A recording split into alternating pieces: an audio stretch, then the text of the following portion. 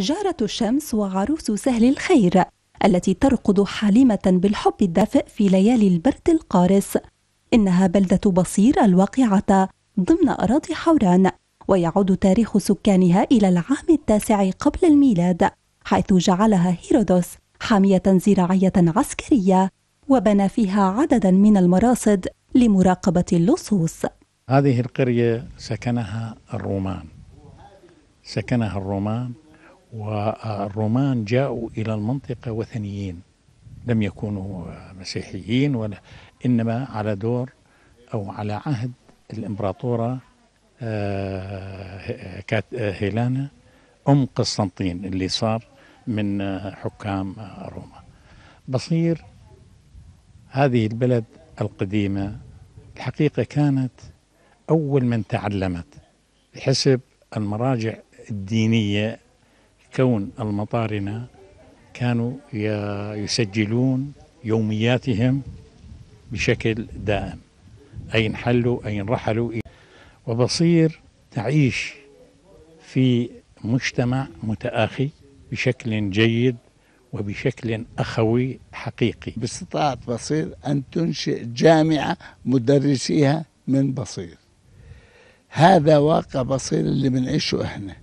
تعاوننا في سبيل إنشاء الصرف الصحي في سبيل آه تعبيد الشوارع في سبيل ترميم الكنيسة اللي كانت مهدمة سابقا وأصبحت بأحسن شكل حاليا.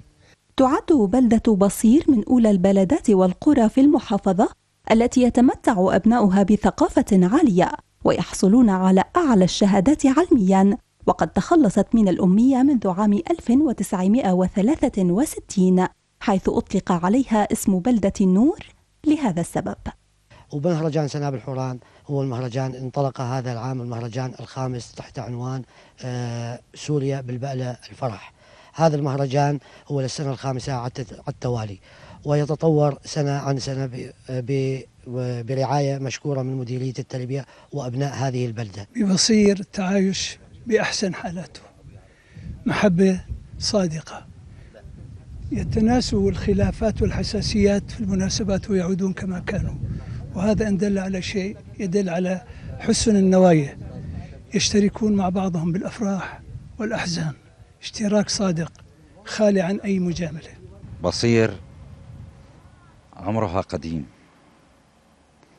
أصالتها أصالة البازلت. بنيت غالبية الأبنية القديمة فيها بالحجر البازلتي دلالة على أصالة هذا البلد. وما زالوا الشباب جميعا متمسكين في هذه البلد بلد العطاء. سوريا بلد المحبة. على الرغم من كل الظروف إلا أن أبنائها لم يسمحوا ليد الإرهاب أن تمتد إلى بلدتهم واستمروا في البناء والعطاء في الوقت الذي كان الإرهاب يدمر البشر والشجر والحجر.